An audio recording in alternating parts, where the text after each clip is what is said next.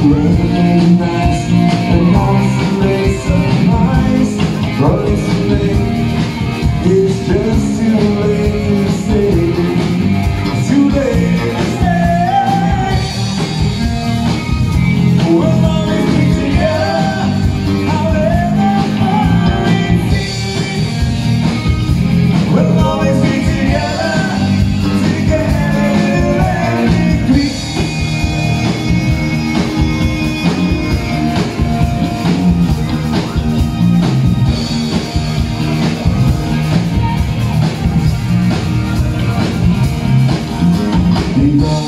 treasure that you gave me. Sorry.